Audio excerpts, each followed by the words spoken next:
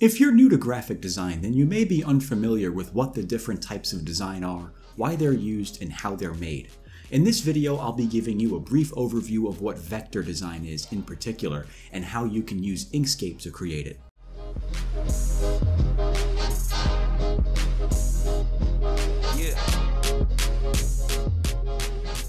This is Nick with Logos by Nick.com, and today I'll be explaining how Inkscape works in 5 minutes or less. Inkscape is a free and open source vector graphics editor, similar to Adobe Illustrator.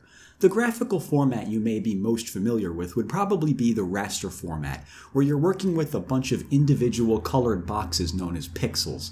This describes things like photographs and JPEG images.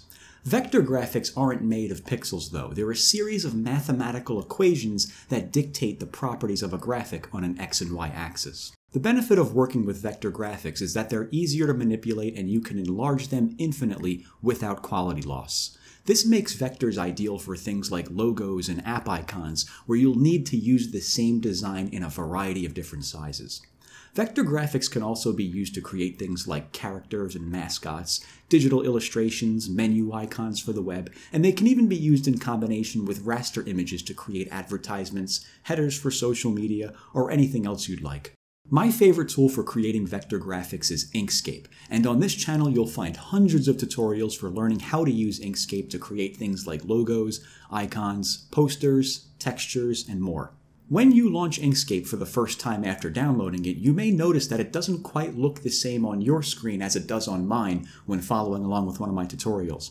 You can change this by going to Edit, Preferences, Interface, and Theme, and ticking on the boxes to use a dark theme along with the symbolic icons. This is not something that's necessary, but it just may be easier for you to follow along with my lessons if things look the same on your screen as they do on mine. The Tools menu on the left-hand side of the screen allows you to create vector objects like squares, circles, stars, and polygons. And you can even use tools like the Bezier pen and the freehand tool to draw your own vector shapes.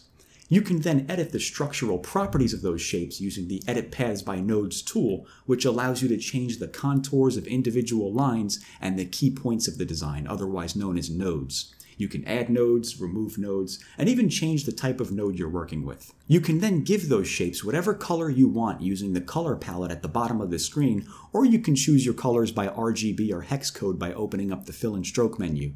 You could even fill your objects with a gradient, which is basically a transition between two different colors. The Path menu at the top of the screen is a series of path operations that allows you to take objects that you've already created and turn them into new objects based on how you make them interact with each other. You can unify them together, subtract them from each other, use the intersecting area between them to create a new object, and more. There's even a more advanced feature known as Live Path Effects, which allows you to manipulate your vector objects even further. Inkscape also has a powerful text editor built in that allows you to flow text inside of objects, wrap it around objects, and even warp it into different shapes. And there's countless other features in Inkscape that make it a powerful tool, like texture masking and clone stamping. Once you have a solid understanding of how all of this works, you can create some really impressive designs. There really are no limitations to what you can create with Inkscape. It's just as powerful as any other vector graphics tool out there, commercial or otherwise. I've personally been using Inkscape as my primary tool for over a decade to design logos for my clients and graphics for my own website. I even have an online course called the Inkscape Master Class where I go over every single tool and feature in Inkscape and explain how it works. It's kind of like a user manual, but in video format where you can ask questions and get help from me anytime you want. And it may be helpful in giving some context to my lessons here on YouTube. I'll put a link in the description of the video if you're interested in checking that out. Otherwise, if you're just curious about seeing what Inkscape is capable of and maybe dabbling around with it a bit, then feel free to check out any of the hundreds of tutorials I have on this channel. I even have a beginner's playlist that would be ideal for first-time users. If you have any questions, just leave a comment below, and as always, Thanks for watching.